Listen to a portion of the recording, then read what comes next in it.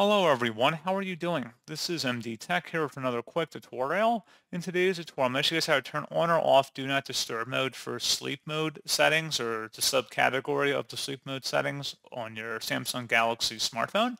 So this should hopefully be a pretty straightforward process here guys. And without further ado, let's go ahead and jump right into it.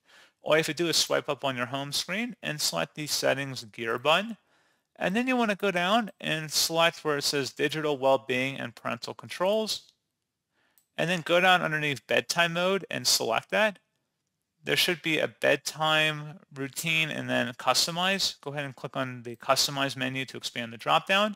And there's a do not disturb for bedtime mode option here. Only calls from starred contacts, repeat callers, and alarms can reach you. If you want to enable or disable that, just click inside this oval one time to do that. And that's all you have to do. So pretty straightforward process, guys, on that. And as always, thank you for watching. I do hope I was able to help you out, and I do look forward to catching you all in the next tutorial. Goodbye.